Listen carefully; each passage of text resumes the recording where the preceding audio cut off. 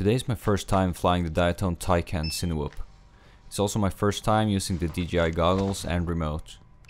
The remote actually causes me to crash at least once, and I also get stuck in a 10 meter tall pine tree. Det blir sykt spennende.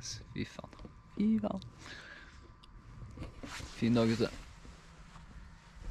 Håper det blir eh, like fint å fly.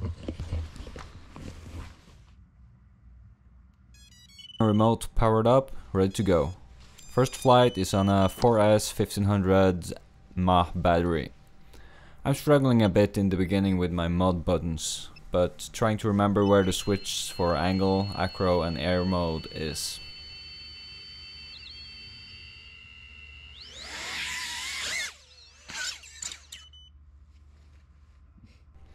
Also, I can't get the OSD up in my goggles, so I can keep an eye on voltage on the drone. First flight, basically just testing out how it flies and if it's anywhere near comparable to the simulator. Which in fact it is, I'm just crap at flying.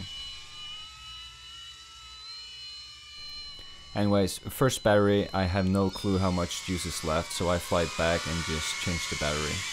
And also try to figure out why I can't see any information on screen.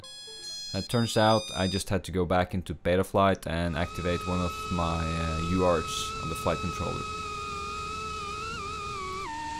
Second battery and I slapped my GoPro Hero 9 on for good measure. I think I got like maybe 20 seconds of flight time before I accidentally hit my disarm button and kamikazed it straight to the ground. It actually went GoPro first, so let's see how that turned out.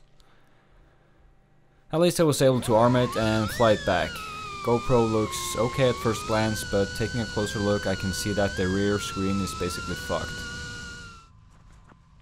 Og den fikk det hardt. Fitte helvete. It sucks. Camera's quite new, but shit happens. At least it functions as it should and the front screen works. I'll get by. So, let's just adjust the camera tilt back and up we go. I continue to fly second 1500 mAh battery till it's empty.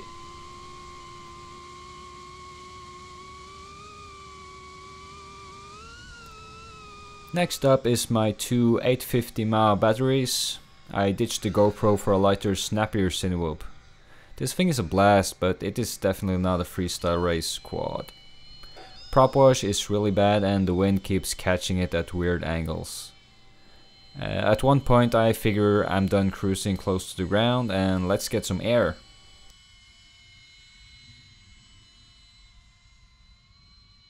Do some nice treetop cruising and we're down. Fuck.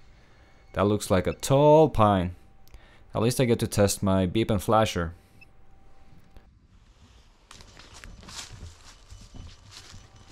Following the beep and the flash I locate it and fuck climbing this tree. I'm wearing crocs, I have spent enough time this year in the hospital.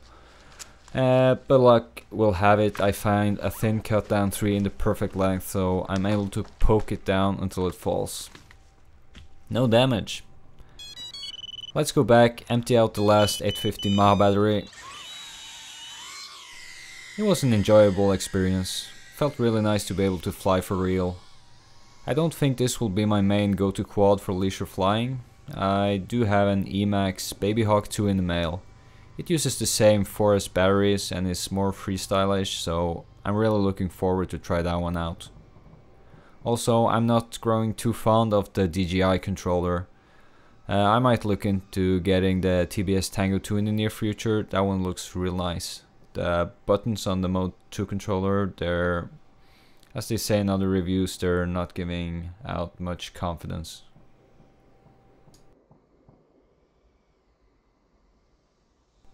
Thank you so much for watching. There will probably be more quad videos in the future, hopefully less crashes, but somehow I doubt that.